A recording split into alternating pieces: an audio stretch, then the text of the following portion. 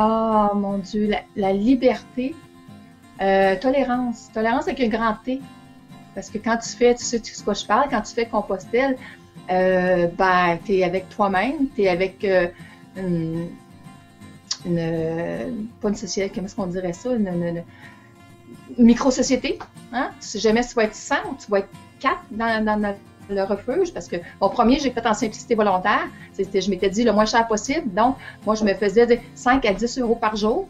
Tu sais, puis j'ai réussi euh, la première fois. je me disais, wow, mais ça, ça disait des gros refuges. Hein, tu couchais dans, le bas d'église et tout. Là. Mais c'était une autre découverte. Puis euh, c'est ça. Moi, je résumerais dire, wow, forme physique, un cadeau à notre corps. Puis notre belle machine. Je pense qu'au départ, se rendre compte que notre corps, c'est une belle machine puis que si on en prend soin, si on fait attention, ça fait cliché, mais il nous amène loin en marchant. Tu sais, on a tendance à dire, rando, ça va en auto. Ah oui, on va loin en auto. On n'a pas vu grand-chose. Il est mieux d'aller moins vite que voir plein de choses. automatiquement, on prend deux soins, notre esprit vient avec. Fait imagine, c'est de la magie. C'est magique.